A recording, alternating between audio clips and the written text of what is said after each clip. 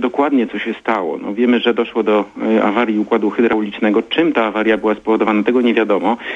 E, samolot Boeing 767 to jest konstrukcja e, mm, bardzo dobra, sprawdzona przez wiele lat eksploatacji, generalnie ceniona przez pilotów. Każdy mechanizm no, z definicji może kiedyś zawieść, natomiast niezawodność tych samolotów jest bardzo wysoka. E, My w locie eksploatujemy te samoloty od e, około 20 lat. E, Większych problemów z, ni- z nimi nigdy nie było. Mm, Takie coś się czasami może zdarzyć. Myślę, że, że dowiemy się co, się, co się wydarzyło, jaka była przyczyna tej awarii.